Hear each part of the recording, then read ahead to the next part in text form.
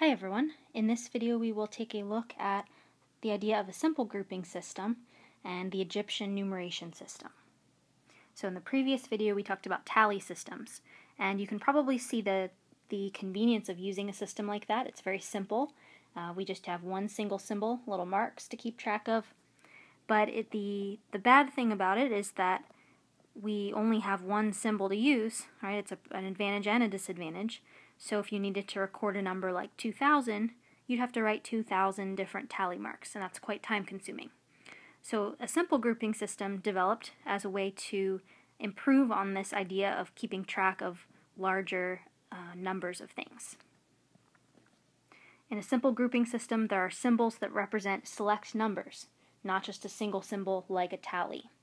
Often these numbers are powers of 10. It's kind of natural for us to count by tens, we have 10 fingers, we have 10 toes. That may be one reason we chose the number 10. So here's a made-up example. This, this is not a historical numeration system, but it does illustrate how a simple grouping system works. So let's say that the symbol, okay, this is the symbol delta, represents the quantity 10. And let's say that this symbol, this is gamma, represents the quantity 1. Write the numeral representing the quantity 64 in this system. So in a simple grouping system, we just write those symbols over and over as many times as needed to represent the quantity. So 64, 60 is 6 tens, so I would write the symbol for 10 six times. And then 4, I need four ones to represent that, so we would write gamma four times. Now the interesting thing about this system is that it doesn't really matter what order these symbols go in. Um, typically, it would have been written from left to right, from largest to smallest, but we could still understand what this meant um, if we had moved some of these symbols around. So let's say I write these ones at the beginning, then in a simple grouping system, we're just adding everything. That's how we determine the quantity of the numeral.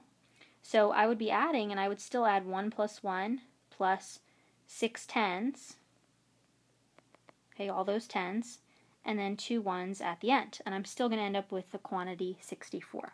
So that's a little bit different than our numeration system. Here's a historical example. This is the Egyptian numeration system, and they used a system of hieroglyphs. And this is a figure from your textbook.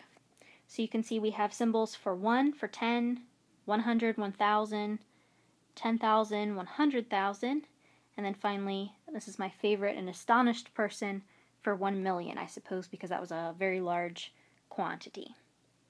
Alright, so same idea, if we wanted to represent numerals, we would use these symbols and just re repeat them over and over as many times as needed. Alright, so if we look at example 1, find the numerical value of each Egyptian numeral.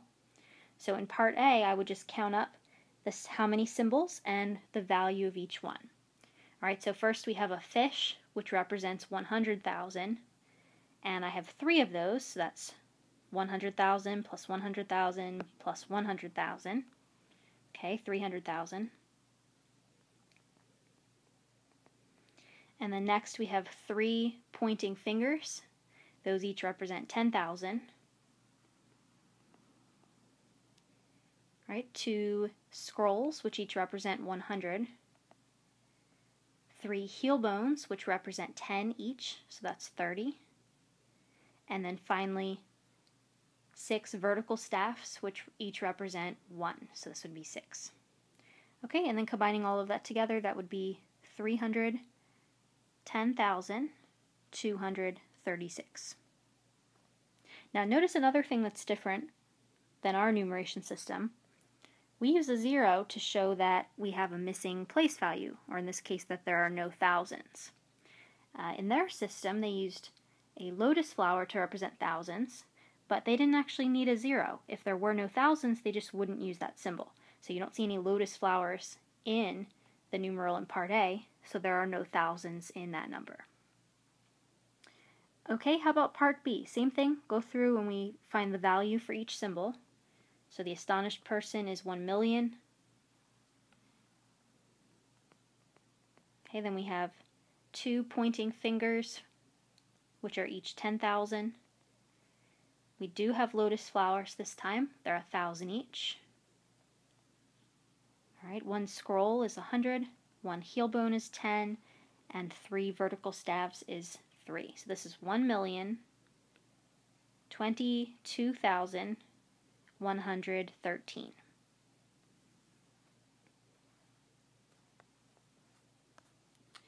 Okay, so let's try going the other direction. Let's write each number as an Egyptian numeral. So 237. Okay, so two hundreds would be two scrolls. Okay, three vertical or uh, three heel bones to represent 30, and then seven vertical staffs. And again, these don't have to be written all out in a line, so you can stack these if you run out of room like that. All right, and then the second number, 3,202,419. So we need three astonished persons. Okay. I guess I should make his arms a little taller to seem more astonished. All right, and then two hundred thousand, so that would be two fish. Okay, you can practice your drawing skills on this one. Uh, next we have 2,000, so that would be two lotus flowers.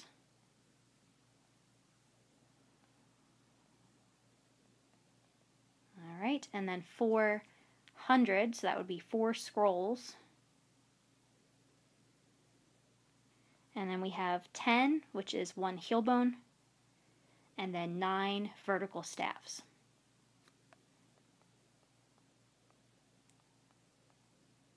Okay, and this is not the tally system, so they would not have crossed the staves when they got to five. They would just have written them all out like that.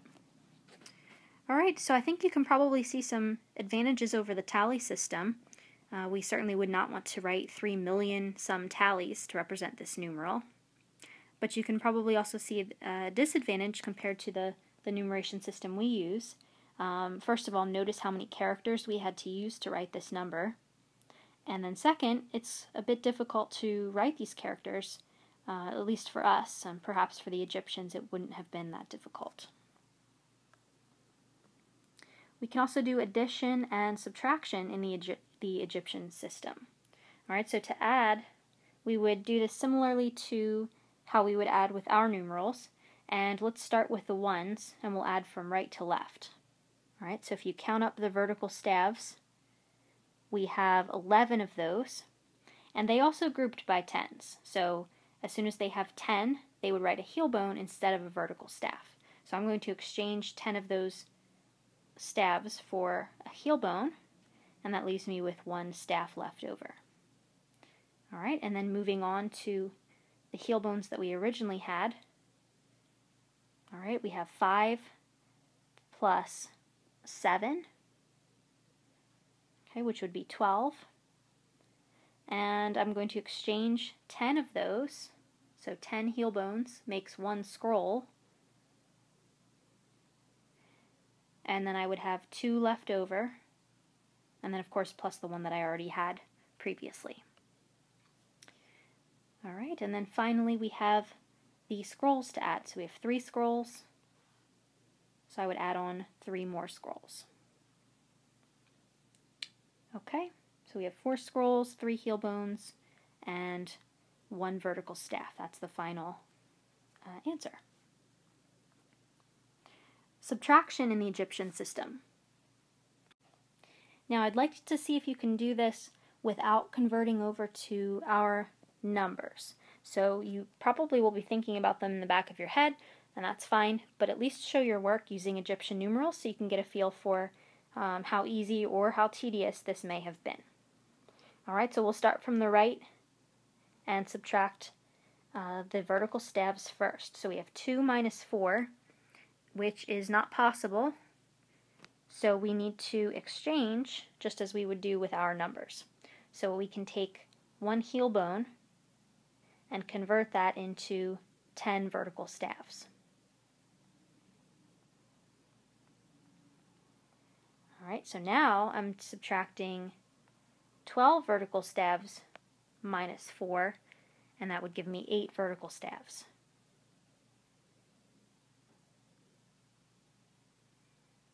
Okay. Um, next, we would move on to the heel bones, and we have 1 minus 3, so I need to exchange again. And 1 scroll equals 100, so that would equal 10 heel bones. So I would exchange 1 scroll for 10 heel bones.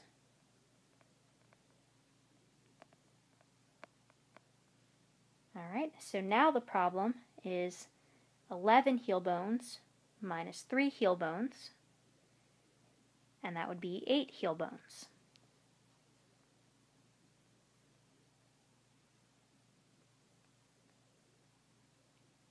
Alright, and then finally we would subtract the scrolls. I have 3 minus 2, which would be 1 scroll. Alright. Alright, now one tip for doing these types of problems, um, make sure that you are exchanging the correct things. So for example, let's say that, um, let's say that we had had uh, lotus flowers instead of scrolls. So these are all lotus flowers. Okay. Now they're worth a thousand, so when you go to uh, subtract the heel bones and when you need to, to exchange, right, when you take one lotus flower and convert it, it doesn't become 10 heel bones, it would become 10 scrolls first, and then you could take a scroll and turn it into heel bones.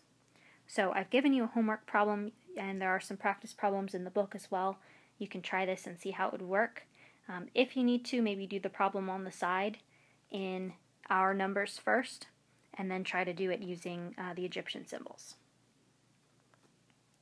Alright, so that's a brief look at how the Egyptian numeration system works as well as simple grouping.